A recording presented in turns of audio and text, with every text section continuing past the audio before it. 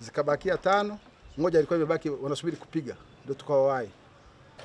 Kamanda wa polisi mkoa wa Mara, kamishina msaidizi wa jeshi la polisi nchini ACP Rongnas Tibishibwam amesema kuwa askari maili wa jeshi hilo wamefanikiwa kupambana na mtandao huo na kukamata silaha ya kijeshi aina ya G3.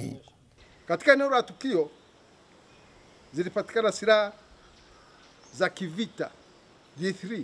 Hii ni silaha ya kivita ambayo ni silaha kubwa kali na inapatikana ndani ya jeshi yenye namba FMP 3908 24 stroke 11 stroke 88 na risasi sita. Tano zilikuwa kwenye magazine, moja ilikuwa ndani ya chemba,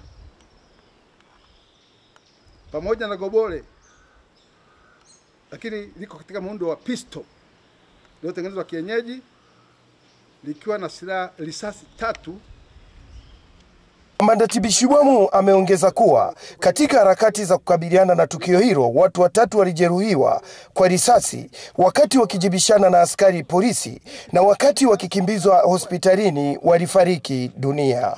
Watuhumiwa wapatao watatu ambao ni Mairo